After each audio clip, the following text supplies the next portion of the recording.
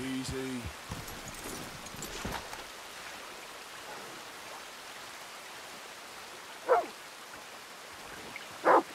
Would you look at that? That dog don't never like no one but me. Wanna rest up a while, friend? Thanks. So what brings you to these parts? Well, I'm glad of the company, if I'm honest. The past six months or so, I ain't been around many people. Regular folks, at least. Ain't sure if you heard of a group called the Chelonians? I, I guess you could call it a religion.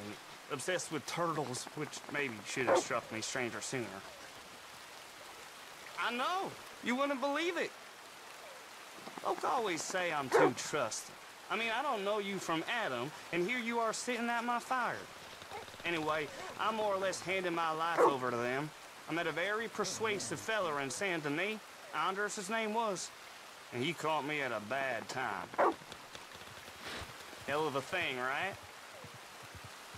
It's that I... I've been given over to some poor living, real poor living, kind of behavior the devil himself would be ashamed of. They promised me safety, salvation, paradise, all very appealing to a fellow like me. Got to the point where I'd given them every cent I had, and I was ready to fall them off a cliff. I just got out in time. Maybe it was the turtles, or maybe it was just I didn't have the spine to go through with it. All seems ridiculous now, looking back. But things we'll do for answers, huh? Anyway, sorry to ramble on. I should get back to it.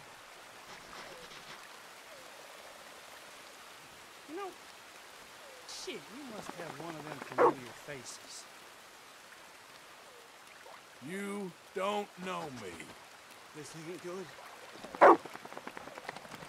Hey, this ain't my business.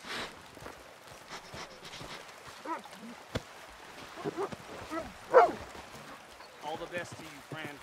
Good luck out there.